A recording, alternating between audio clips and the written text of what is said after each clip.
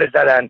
و دیدم حس سر صدا می اومد من هم نگاه کردم اومدم دیدم دیدم پایین پلارا بریدم اومدم پایین دیدم این بچه ها مال چینه وزارت اطلاعات شوشن چون توی موقعیت نزدیک چل روز من دخترم گرفته بود این رفته بود همه را میشناختم. گفتیم آقا جریان چی و دیدم نه خلاصه پسر گرفته بودن. بعدش ای هم حس سلام می‌کرد. بابا کلتن پسرم هم دو سی تا مریضی مریضی قند داره دیابت داره از خدمت تو می‌کنم. بعد بهش آقا تو رو تو رو به فاطمه زهرا ول کنی پسر مریض نکشیدش.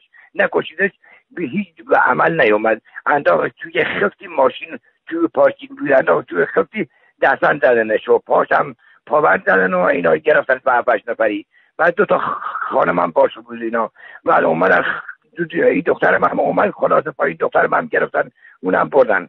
بردن خلاصه شیش هفت نفری پسرم تو دست پا دست بسته و پا بسته بردن داخل صندوق عقب. دخترم هم همه اینجور خانم هم چیز کشید ای مل ای ملت ای مردم ای همسایا بچه هم بردن نداری خودمون کشن؟